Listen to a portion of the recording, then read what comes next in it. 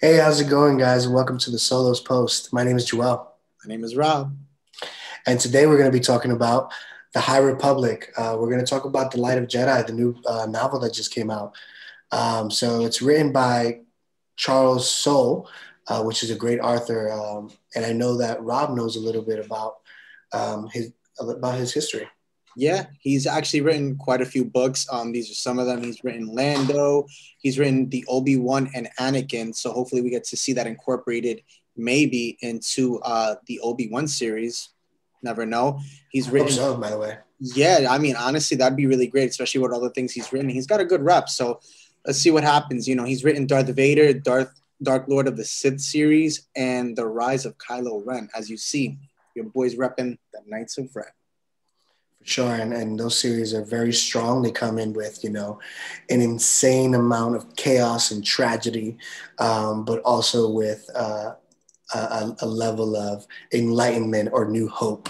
Uh, pun, uh, pun intended. Got that movie, right? yeah, but no, no, seriously, um, it's pretty, it's pretty cool. All the stuff he's written, and and it's cool to see right now that we're we're getting a different um, a different world or a different uh, system yeah. um, that comes again 200 years or so or more uh, prior to Phantom of Menace. Yeah, definitely from the original trilogies. Yes, from the yeah. beginning, episode one. Yeah, it's, it's really cool to read this book, guys. Um, again, it comes with that high level of tragedy, but it also comes in with some hope too. Um, and let's jump right into uh, chapter one real quick. Yeah. Uh, we're going to be talking chapter one to chapter three today and kind of give you a little bit of what we like, what, you know, what I like about the book. Um, also, feedback. Yeah. Um, also, uh, I, I don't really read books often. Um, I actually listen to them on the go, which gives me more time with my kids. Um, it also gives me more time at work as well, so that I can sit down and just listen to the book.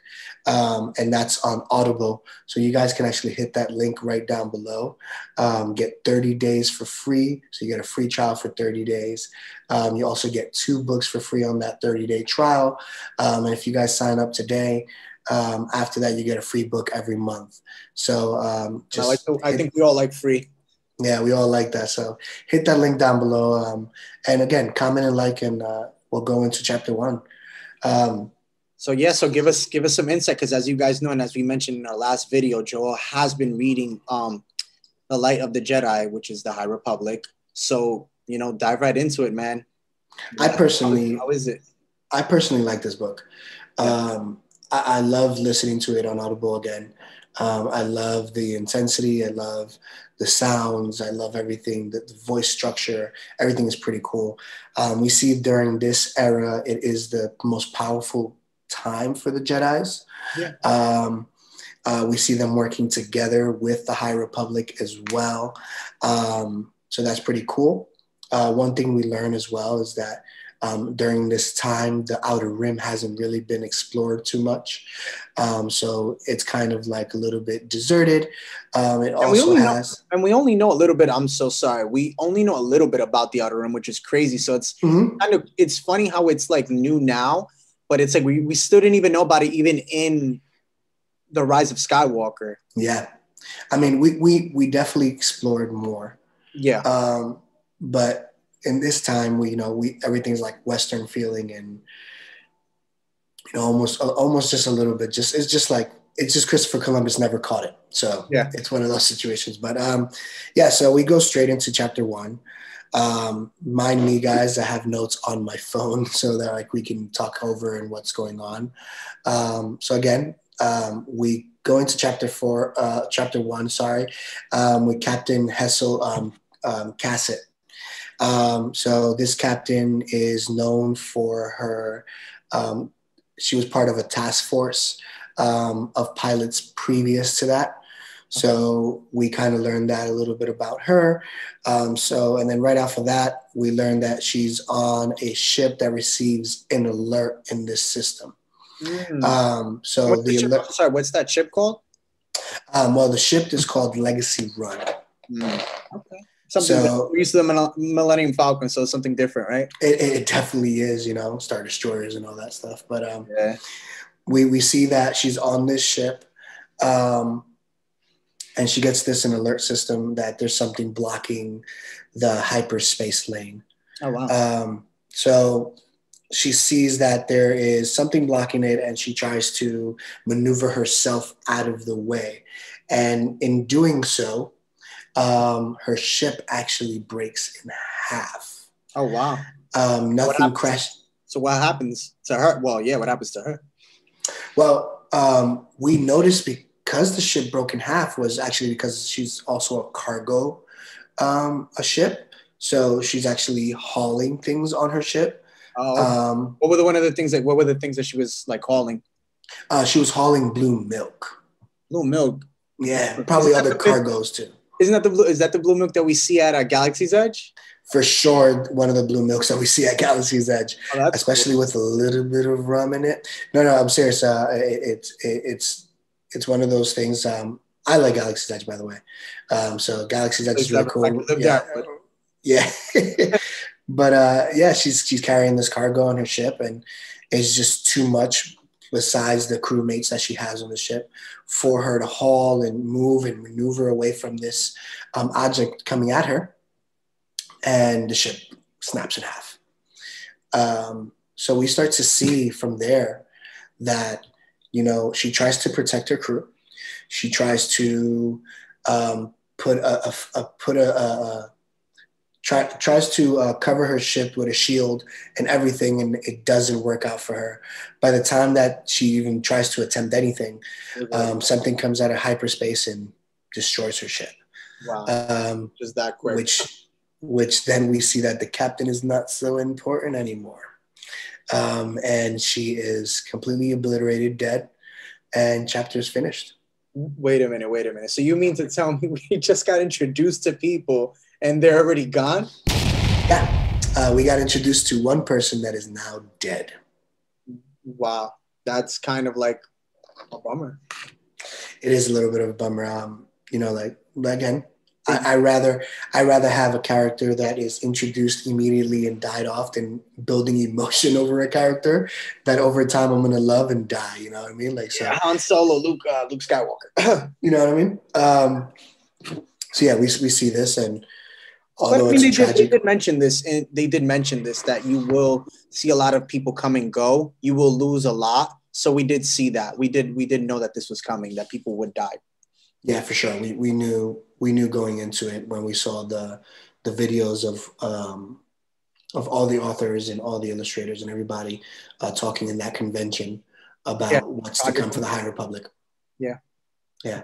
I so um, dive into chapter two. Yeah, I definitely want to do that. Um, so again, um, we go into chapter two, um, and now we're in, in the Hetzal system, um, which, which is actually part of the Outer Rim.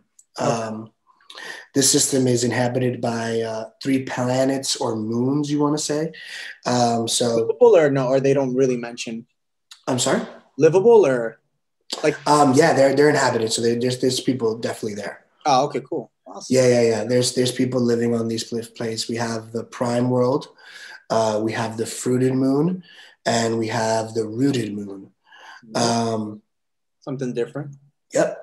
And we have approximately about 40 plus billion people living on these uh, planets or in the system. Okay. Yeah, for sure. It's pretty cool. Um, and then we get introduced to uh, Marvin Getter. Uh, he is a scan tech. Um, he logs in the traffic that comes in and out of the system.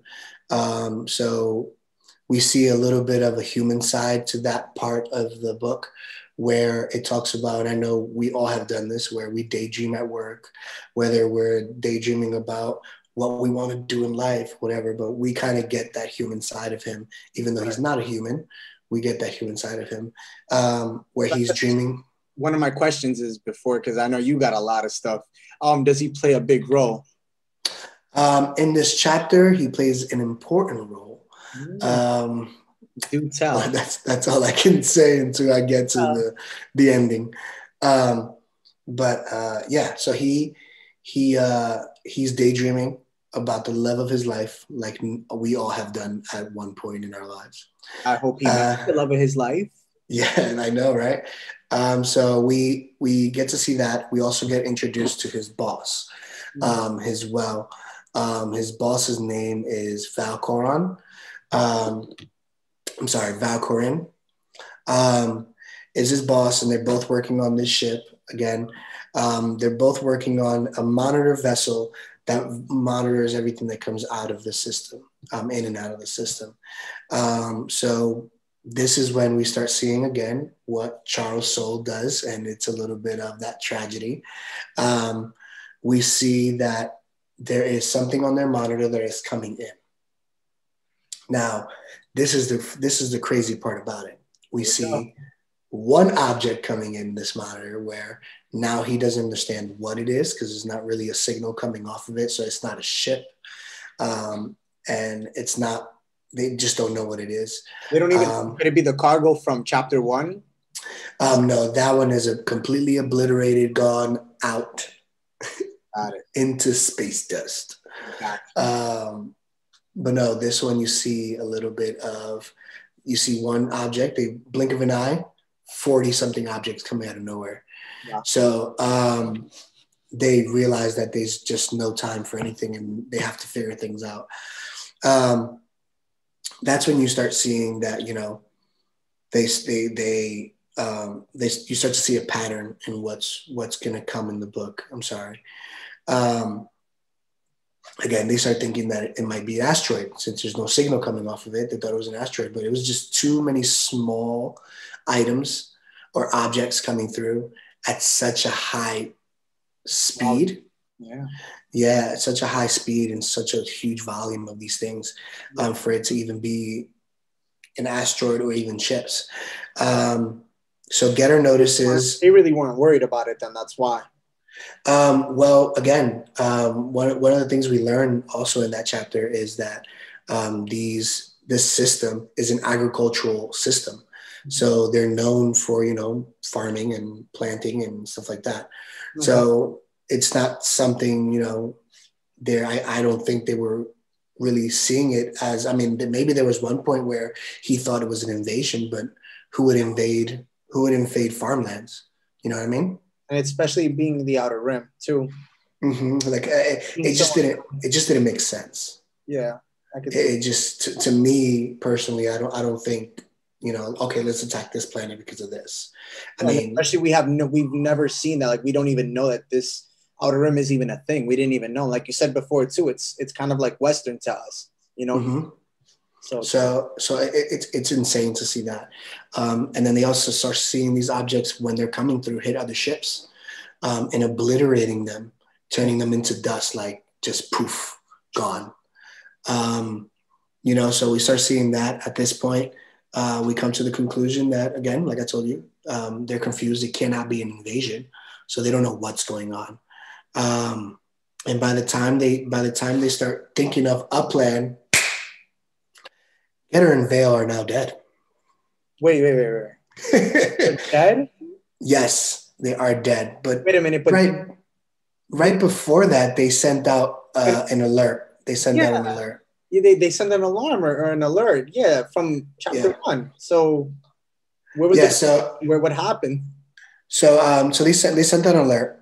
Um, they sent an alert, and um, we see that in that in that most panic moment, of course, of them trying to explain or see what's going on or try to give somebody information, um, wasn't successful. The planet that is below, um, below in that Hetzal system, uh, gets that gets that um, gets that signal, and that's the end of the chapter right there for two. Wow, that's kind of upsetting. It's upsetting. Uh, you know. It is. It is, and I can see where, and I can see where other people would get a little bit frustrated because yeah. you know they want to see characters that they can really fall for. Yeah, especially at the beginning of the book, you kind of want to fall in love with it right off the bat, and you want to know like, okay, like I could see this person playing a role in the whole book, but then it's like, oh wow, chapter one, chapter two, you gone. Yep. And again, I personally speaking, I like that it's that intensity coming in. Yeah. That it's like, all right, we got a character, boom, gone. All right, we don't have to worry about him. Next characters, boom, boom, gone. We don't have to worry about them. And then we slowly start getting into other stuff, of course, later. But again, the way I'm explaining it is just the way I perceived it. It's not the way you know they they wrote it out. It's the way I'm understanding it.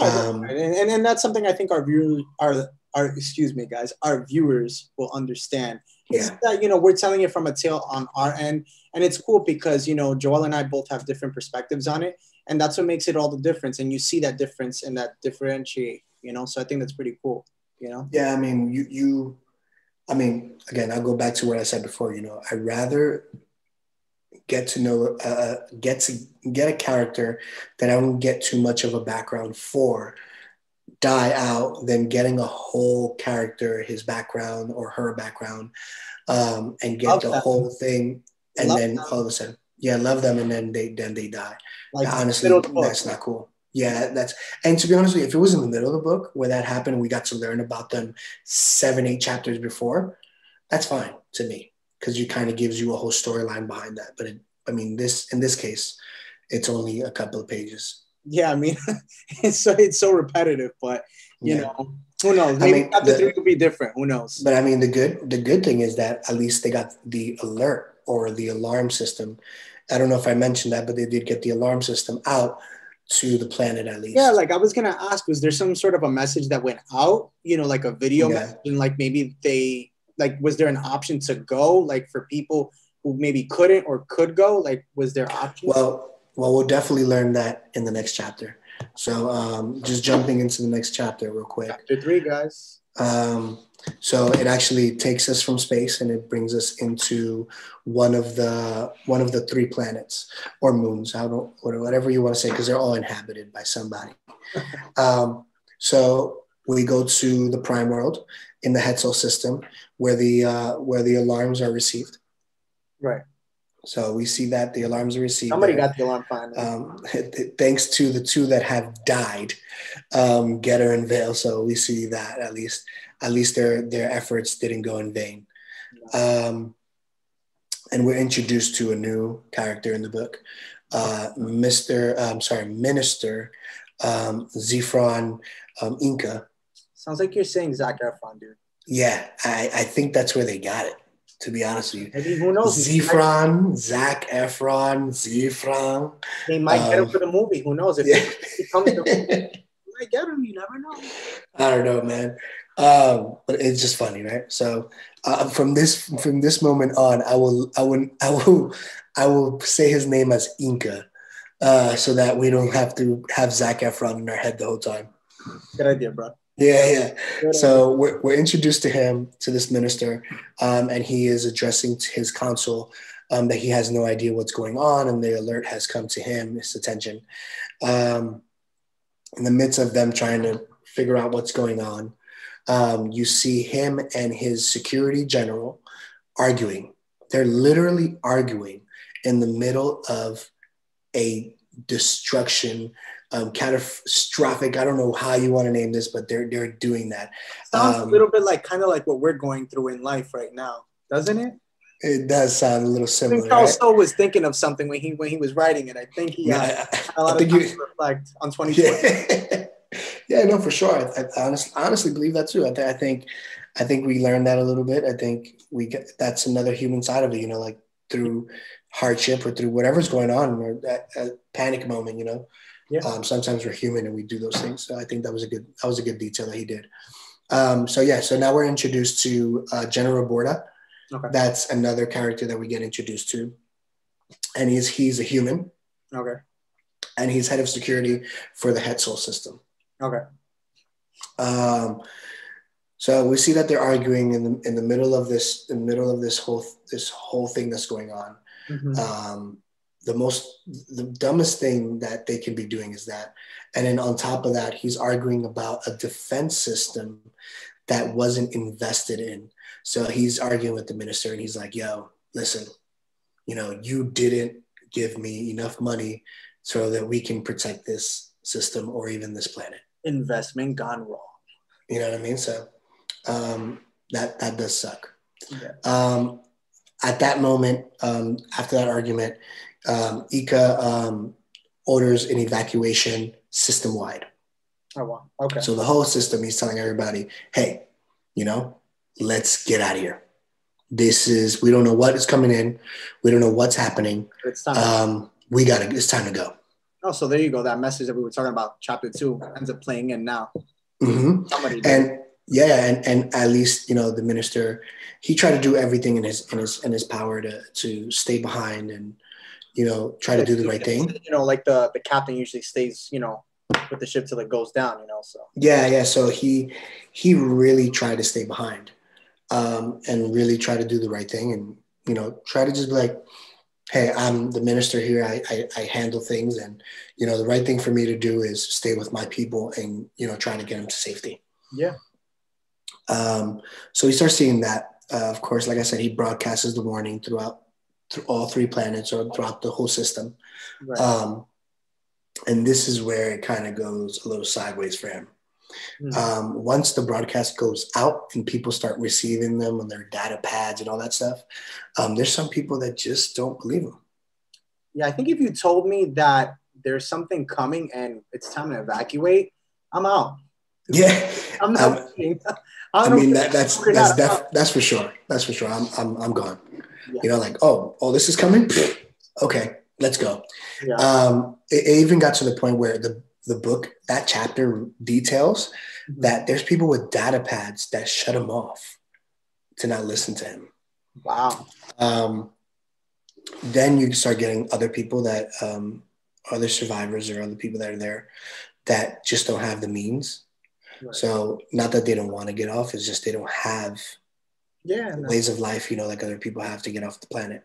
Yeah. Definitely. Um, you know, that relates to like kind of like you said, it relates to you know kind of like you know life in general. You know, yeah, I mean, I, I I can I can probably sympathize. say that if this ever happens to us here, you know, like there's probably going to be a couple of people that don't have the means to get off, and unfortunately, it's going to be tragic. So that's how it is there. Yeah. Um, and then you have other people that are just like, move, get out of the way. I'm I'm getting off this planet. you know what I mean? Like when you have that too. So at least at least you have at least you have that side of it too. So you kind of again another human uh, nature that you you see different things happening and it's pretty cool. Um, so yeah, so now we have that happening. Um, we see on the rooted moon Mhm. um, there is a trader um, that's trying to that has a starship and he's trying to take all these people off planet. So he has a starship that's big enough to hold 500 plus people. Right. um, again there's an exact number. I'm, i don't know the i don't remember the exact number but this trader tries to move that many people off the planet. Wait a minute, trader. Why is he saving people if he's a trader? oh i'm sorry. A trader of goods. Okay, Yeah, yeah, Last time I checked, traders don't save people. No, no, no, not a bad guy. Not a bad guy. He's Ah. he's, he's he's a he's a good guy. Yeah. Um, again, we're in an agricultural system, so um, you know they trade different types of goods, different types of things. The farmers and all these people that live there. Um, so he just tried to be a kind gentleman um, and try to take people off planet. Mm. Again, Charles' soul takes out my soul and destroys it. Um, You're lying. see- No. Yeah, we see that this um, ship literally grabs all these people and can't fit no more, not even a kilometer off the floor. And boom, there goes the engines. So you mean to tell me another big tragedy? Yeah, another catastrophic tragedy. It's sad, man, but you know, it's it's it's part of life. You know, it's part of the, the life in the book, at least. Yeah, Um, definitely. I mean, wow, that's that's pretty intense stuff. That's three chapters already, and we're already lost characters. But again, you know what? They did say that this would happen, so I guess I Yeah. can't be too upset. But I can kind of, you know, relate to those fans who are kind of just like, is everybody truly gonna die? Like, are we- Yeah. you know, and, I- and I and I know and I know that it won't it won't be that way. yeah. um, I know that it will it will be a little bit different, um, but unfortunately, right now that's that's just how it goes, you know. Um, and at least from what I've I've read, and I know there's more that I would love to give you guys a little bit more, but again, uh, today we're just gonna go try to keep it as solid as three chapters uh, for you. But. Um, yeah, it, it, it, it bursts into flames. Uh, uh, balls of raining fire start coming down from the sky because you know it's, it's the ship is gone now. Right. Um, and it's due to how many people it was holding. I guess it was an older ship that Right. just couldn't couldn't hold uh, couldn't hold many people. the planet are seeing this. They're just like, wow. Yeah, Like- I, I, yeah, I mean, in, in that situation, you're kind of like, damn, I'm lucky that I didn't get on it. But then you're like, at the same time, damn, my time is coming. just, yeah. And it's, it's it's just one of those things. And, and I think and I think that's actually one of the one of the one of the passages in the book where it says he like you know people are looking and they're like, hey, you know, is is this? Am I lucky that I didn't go on it? yeah, or am I not lucky because I could have died a lot sooner than having an actual timeline and knowing Yeah. that I'm gonna die because of something else that's gonna hit us. yeah, yeah. You know, so um, we see that. Um, now we see that, you know, we see that there's so much tragedy. The minister sent this broadcast out. There's no hope. You know, he's worried and his hope is gone. He's just like, man, I stay behind. I, I let go of broadcast. People, some people are not listening. Some people, people are just dying. Things are getting destroyed. Things are turning into dust. What's next? That's my question now to you, because I, like as like we said, guys, Joel's reading the book. He knows what's going on. So please tell our viewers. Yeah. what's the come. So, so we see a little light at the end of the tunnel. and that light is That light is a Jedi that received the broadcast. So they see the broadcast, they pick it up. Um, the Jedi's name is Avar Kriss, okay. and she says through the broadcast, Hi, we're here to help. And then the chapter ends. Bum, bum, bum. That's awesome. Um, So at least we got it, Jedi. But Yeah, we got a Jedi. After chapter three, we get a Jedi. so I- And we most likely will get a lot more Jedi's after that. Wink, wink. Wink, wink, nudge, nudge. All right, well, let's get into it, guys. Let's dive into the summarization of it and let's talk about what we're thinking of right now. So, Joel, I'll go with you. From everything that you read, Mhm. what is your feeling on the first three chapters and going forward? Even though you do know what happens after, but for these three chapters that you have read or have heard on Audible, what do you think so far?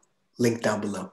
Uh, no, um, what what I like about it is that every book is usually slow, or or it's usually slow at the beginning, so you don't get you don't get ramped up. Yeah, you don't get that rush. this one is kind of playing with your emotions. So you So much. build, so you build pff, down, you build down, and so you think it's going to be a very consistent thing, which which is not. Right. Um, and I can promise you, it is not. Um, but what I can honestly say is the production side of it, of what they did for Audible, um, and not only that, just just hearing the level of detail that they give in this book, you will fall in love with it. If you're a Star Wars fan, you will fall in love with it, um, and you would appreciate why they killed off these characters um, coming to the next few chapters that we have. Not bad. Well, you heard it from Joel himself, guys. Yeah, I I mean, that guy. after after giving my summaries and and my explanations on on chapter one, two, and three, how do you feel, Rob? Um, I mean, honestly, I guess mine it's a, it's kind of in it's in the middle because I do I do agree with you in a sense of yes, you know, um, there is a I like the action part of it that you know there's a rush, you know, like you get to learn these people and then they die off and it's kind of like nonstop. I, I like that, but at the same time too, for me it's just like I, I want to see people last. Like I know it's only the beginning, but I guess that's where you and me differ you know, it's just I want to see it last. I want I want the storyline to start like I want to see where it's like action, action, action, and then you know we kind of have those characters that are still kind of going, you know. But hey, it's only the first three chapters. Let's see what happens. You never know. Exactly. And you know what? I, I feel like the same way, you know, like I feel like, damn, give me somebody that I can stick with. Yeah, Um, but- around is just. But you know, I mean, I know they warned us people are going to die off, and and, and I get that. We're gonna get more Jedi, more characters, but just I would just love for it to just be kind of like you know, you, it's like you want that that strong relationship from the beginning. You don't want to have that you know that rocky turbulence. You know, in the beginning, you want it sure. shoot. You know, but you know, I get it in a sense. You know, for sure. And and to be honest with you guys, again, it, it is a good book. I know we only talked about one and one, two, one, two, and three, those chapters, but I promise you, it gets into uh, um, it gets into other other fights. Um, you see you see relationships with Jedi's and their Padawans, um, and you really build on the characters from there. Spoiler alert. Yeah, so I mean, I'm not going to say their names or anything like that right now, oh, and we will, and we will most likely get into that further yeah. down the road. Um, but again, I just wanted to tell you guys how I felt about the first three chapters. I personally liked it, even if people died and went thing. But it leaves me with a level of suspense because we still don't know what was coming through the galaxy. Well, yeah. maybe I do, but you don't. I, and I, so, don't, which is the crazy part. So yeah. so it still leaves you with a level of suspense, yeah. and just I, I telling you right now, it really is a good book, and it is it is a good listen to. So yeah. I mean, again, it's a free book if you guys go straight down to the the link down below and just you know just click on it, get your first three, 30 days. Um, the book is not that long to listen to. You can get it done within a couple of days. Um, and personally speaking, you'll love it. So I, I, I mean, pretty sure you like it. It sounds really, really good. I mean, I, I, I, love I love the story so far. It's really, really good. You know, so I think. Mm-hmm I think you know our fans out there. I think the and and the viewers will love it. I mean, especially it's Star Wars. I mean, we've been looking for something new anyway.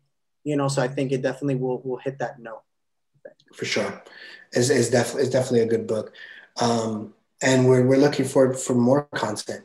Yeah. Um, you know, so after this, I'll be definitely reading more of um, more of the High Republic, and not only reading more of the High Republic, but we'll be going into the new uh, the new Disney Plus series that are going to be coming out and whatever leaks comes out. Um, I don't want to be one of those first ones that talk about the same thing like everybody else. Yeah. But I definitely want to get into more uh, information of what we what what's to come. Yeah, guys, and you'll definitely hear more content from us on different things. It just won't be the High Republic. It will be other content that comes out. You know, especially with Disney Plus, as Joel said, having so many things coming out. We'll be talking about everything Star Wars yeah, guys. So we appreciate you guys tuning in. We appreciate you guys listening to the first three chapters of The Light of the Jedi uh, and part of the High Republic series. So we appreciate you guys tuning into our channel. Please comment down below if you have any questions. Um, hit that like button. Don't forget that little bell as well to get notifications when we do post. Um, we will be posting twice a week or sometimes more. Um, so just stay tuned for that. Uh, Rob, anything? Yeah, kind of everything what Joel said, you know. And if it's something that is Star Wars newsworthy right away, we'll make sure to get it to you guys as soon as possible and right away. So hit the like and subscribe button. Other than that, got nothing else to say. All right, guys. Have a good one. May the force be with you. May the force be with you guys. Stay safe, guys.